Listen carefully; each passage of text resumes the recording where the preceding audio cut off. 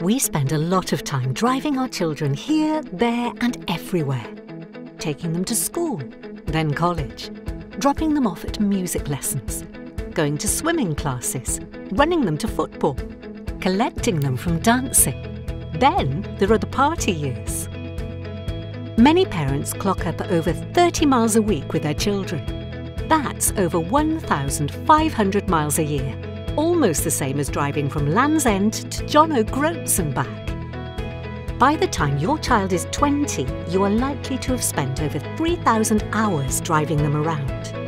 You'll easily cover over 30,000 miles, more than enough to take you round the world. It's not just you clocking up the miles, your tyres are too. Tyres are the only point of contact between your car and the road and are essential to your safety. And it's the driver's responsibility to check them and keep them in good condition. Checking your tyres takes just a few minutes and it's simple. You need to check your tyres' tread, pressure and general condition. It's easy to check your tyre tread. All you need is a 20 pence piece. Insert the 20p into your tyre's tread grooves to see if the outer rim of the coin is covered by the tread.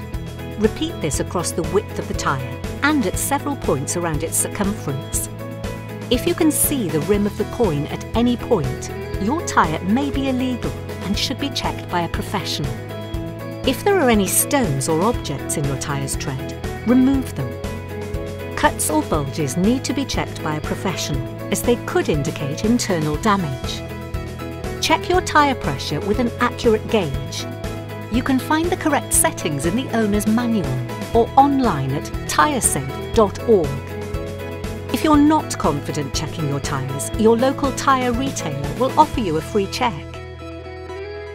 Check your tyres at least once a month and make sure you and your children get home safely on safe tyres.